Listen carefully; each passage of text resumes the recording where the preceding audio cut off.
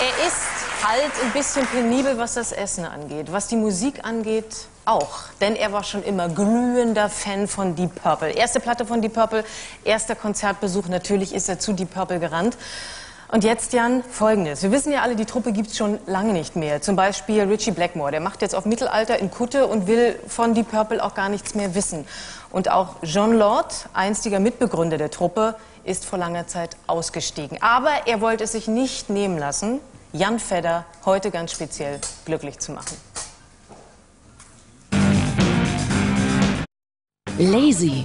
Komponiert hat sie John Lord, der Jimi Hendrix an der Hammond-Orgel. Den hat Jan Fedder sogar schon einmal getroffen. John übt jetzt fleißig für das Geburtstagsständchen.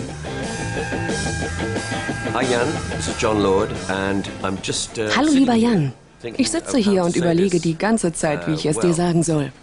Also nur zwei Worte. Happy Birthday. uh, Mein Geschenk? Ich lade dich zu meinem nächsten Konzert in Hamburg ein. Am 12. Februar in der Musikhalle.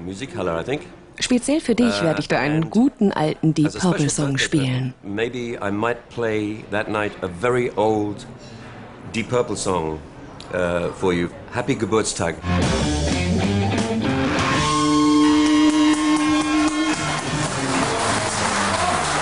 Ja. Lieber Jan. Lieb sitten, mein Jung. Einmal Original Deep Purple aus den guten alten Tagen. Ich denke, du wirst es in Ehren halten. Unterschrieben ist es auch.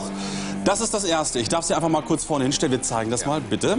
Das Zweite allerdings, ich weiß nicht, wo John Lord das ausgegraben hat. Also hier steht noch Hör zu drauf. Dieses Logo gibt es schon längst nicht mehr.